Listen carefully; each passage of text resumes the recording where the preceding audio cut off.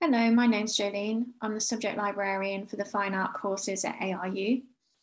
This video is on how to find and access the art journals. So the first thing I'm going to do is show you how to find a journal if you know the title of the journal you're looking for. So I'm going to go to this library search box and you can get here by going on my ARU or you can just Google ARU library and the top hit will take you to the library website.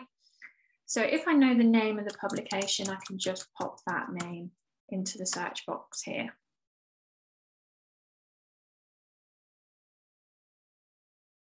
So here we can see in our results, we've got the Journal Art Monthly coming up to the top. I'm going to click on this one that says multiple versions.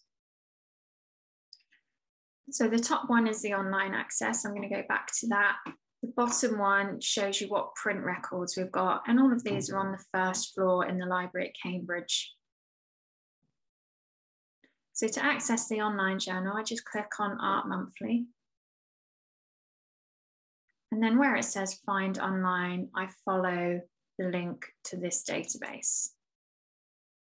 So once I'm on this page, you can see you can view the latest issue. So any of these articles you could click on and view. You can also search within the latest issue, and you could also go back in time and search through other issues. So I could go back to September 2020 if I wanted to. You can also search through the whole Art Monthly publication from 2009. So if I wanted to look at exhibition reviews that were at the Whitechapel Gallery, I can just put in Whitechapel and search within the publication. So I've got 235 results. I can further filter this. So if I only wanted things from the last 12 months, I could do that. Or I can go to subjects and I can just pick art exhibits. Art Monthly is a highly regarded art journal, and you can see here on the side it says scholarly journal. It's independent, it's not affiliated with any particular gallery, so it will give you impartial, unbiased exhibition reviews. Now, if I wanted to view any of these articles, I can click straight away to the PDF, or I can click on the title and get more options. So the options to read it, I have the full text here, so I can read it online. And also there is a button that will speak the words from the article to you. You can also view the PDF And the PDF will look more like the print magazine, so you'll get the images as well as the text. You have some download options, so you can download it from here or you can download up there and you keep those downloads. There's also a cite feature, so if you click on cites and look for the Harvard citation, you will get a Harvard citation this is slightly different from the Harvard that we use. It will give you the main details, but you'll just need to make a few alterations to make it correct according to our guidance. You also get further suggestions from the ProQuest database that it thinks you'll be interested in, so you can click on any of these to view those articles too. So the second publication I'm going to look at is Tate Etc. And you could go back to the library website and search for Tate Etc. and be taken through to the journal. But I know that Tate Etc. is also provided by this database company ProQuest. So I'm just going to go to publications and then search for Tate Etc.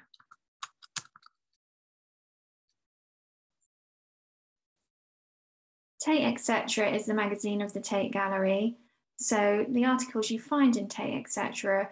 will be reviews and information about the exhibitors at their gallery. These reviews may be favourable and less impartial than Art Monthly, for example, because Tate are marketing those exhibitors to a wide audience. So because Tate Etc. is all about the Tate Gallery itself, you might want to search for a particular artist or somebody you know who has exhibited there, or you might just want to search for a particular topic or theme. So I'm going to search for abstract photography.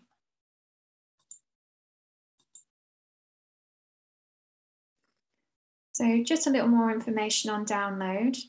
You can click on here to get the further information like we did before, or you can go straight to the full text PDF. When you download, you'll get the options to open in an Adobe product or a PDF reader, or you get the option to save. If you save, that will save that document in your downloads file on your computer. So now I'm going to focus on some of the art journals that are not on the ProQuest database and how you get a list of journals that we have access to. So if you go to the subject guides just here, and then browse the A to Z list, and then go to F for Fine Art,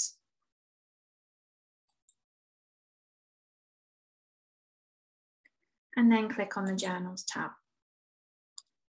So here you're given a list of other art journals. Some of these are academic journals that are in the list at the top here.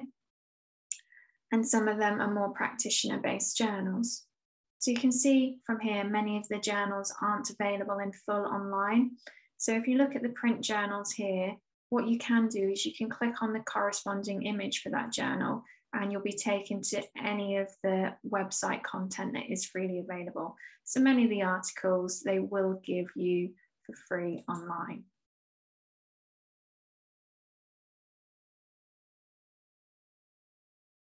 If you find while searching the web that you get to some of these articles and you're unable to access them, take a note of the volume and issue number of that journal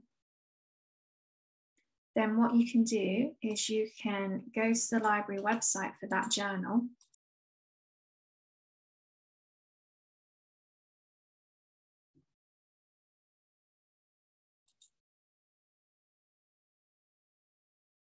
This time go to the print copies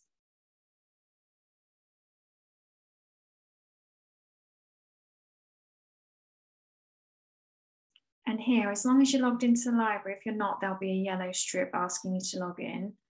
Here you'll be offered the option to request a PDF scan of any of the articles. So if you know that the article you want is in number 221, 2021 September, you can click on PDF scan, fill in the article details, and submit that form. And then someone from our team will scan that article and send it to your email.